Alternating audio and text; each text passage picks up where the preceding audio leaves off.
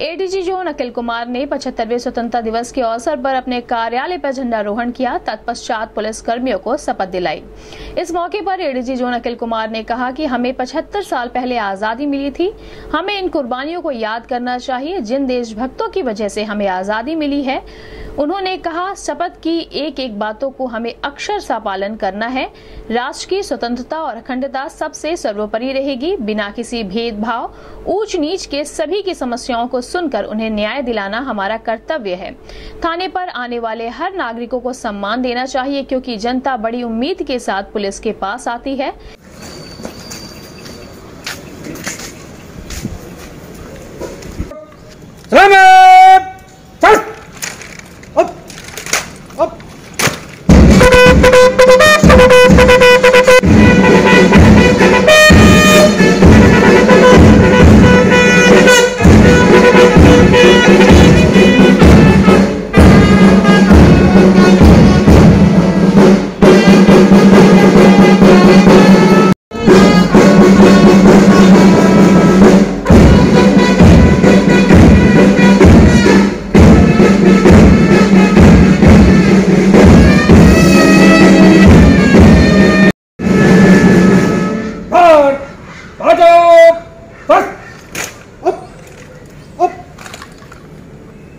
एक एक शब्द बहुत ही महत्वपूर्ण है।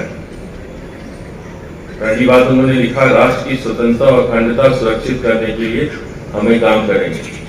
हमें आज स्वतंत्रता दिवस में इससे बड़ा संकल्प नहीं हो सकता कि राष्ट्र की स्वतंत्रता और अखंडता ये सबसे सर्वोपरि रहेगी। कोई भी आदमी, कोई भी व्यक्ति, कोई भी ऑर्गेनाइजेशन कोई भी देश अगर इस ओर प्रयासरत रहेगा तो हम उनका मुँह तोड़ जवाब देंगे और उनके किसी भी प्रयास को असफल करेंगे। साथ ही साथ जब हम कोई भी कार्य करते हैं खास करके पुलिस विभाग में लेता हूँ कि राष्ट्र की स्वतंत्रता एवं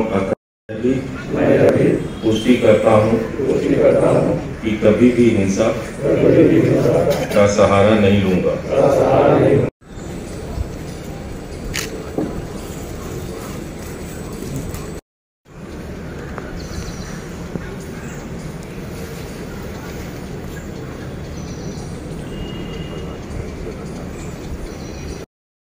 ढेरों शुभकामनाएँ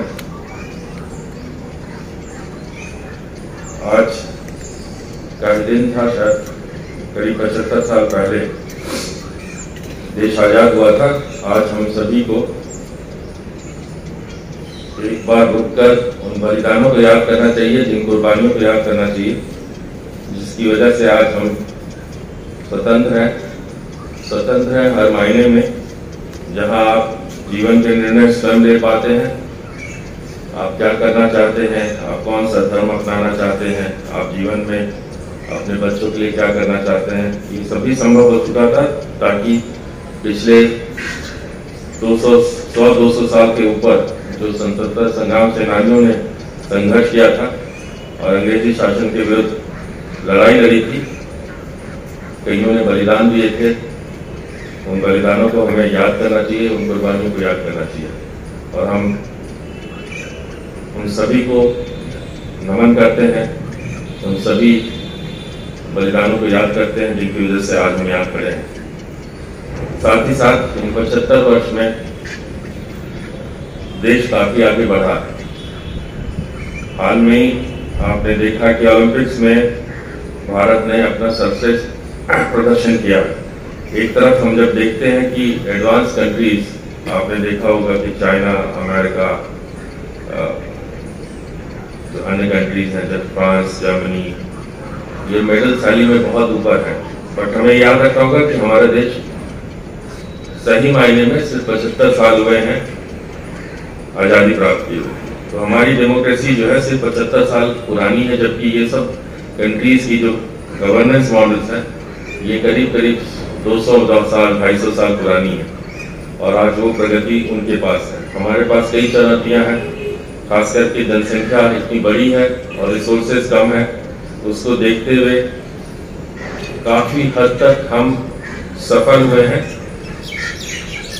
लेकिन हमें और आगे बढ़ना है। और आगे हम तब बढ़ पाएँगे जब हम सभी लोग मिलकर इस ओर सार्थक कदम उठाएँगे। तो अगर हम स्वतंत्र हैं तो स्वतंत्रता का ये मायना नहीं कि हम कुछ भी करें। एक सामूहिक ग्रुप अपना एक डिसीज़न लेता है कि हम कैसे अपने आप को व्यवस्थित हमारे जो फोरफादर्स हैं, उन्होंने ये संविधान इसलिए बनाया कि डेमोक्रेसी में संविधान सर्वोपरि होता है।